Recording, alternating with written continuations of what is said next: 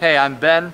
Um, this is my keyboard rig. It's a little discombobulated at the moment, but um, it's a Kurzweil SP48. Um, I've been I've been only using Kurzweil for uh, eight nine years at this point, um, just because it has a it has a great piano sound, has good feel, and, and that's it. I mean, I don't need anything terribly fancy with this except for something that, that feels good under my fingers and, and and sounds really good. And especially since we like don't have like a designated bass player, a lot of times I need to carry the low end um, with my left hand, and that this keyboard can sort of handle that, which is great.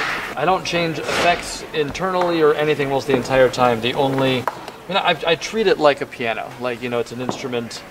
That, I mean, I grew up playing piano as a classical pianist. That's what I would ideally have on stage, and so I'm not using like sound manipulation or reverb changes or anything else like that. You know, certain songs, you know, if there's no bass, I'll you know I'll, I'll aim heavier, or if I'm doing like solo pieces, I can afford to be up in this register because it, uh, you know, I don't need to fill up the entire room with what I'm doing. Um, on one tune, I use a Rhodes sound within it, which I, it's, it's off right now, but just use another preset. Um, just basic little bit of uh, you know, natural distortion, and it sounds pretty good. This is an Novation. Um, I use it just as a MIDI controller. So I loop this into my computer, which is not there, but normally would be. Um, and I run MainStage on there and, and uh, programmed a bunch of synths using sort of Massive and Kontakt and other soft synths uh, to sort of emulate the sounds that we have on the record, but then build it up more so it sounds better in a live setting.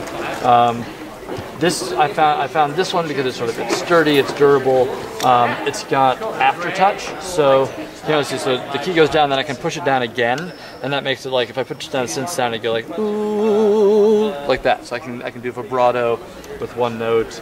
Um, I use other little controls to like add portamento or add uh, more vibrato with this or pitch bend and transposing. So I have it all set up so that this thing controls all the sounds on the computer and I can switch between patches and, and that sort of thing.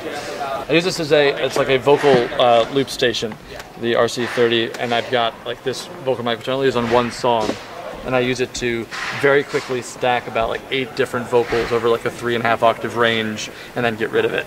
So it's just, I, almost use it as a, sort of a, uh, like a shock factor effect. I just use it once during the set.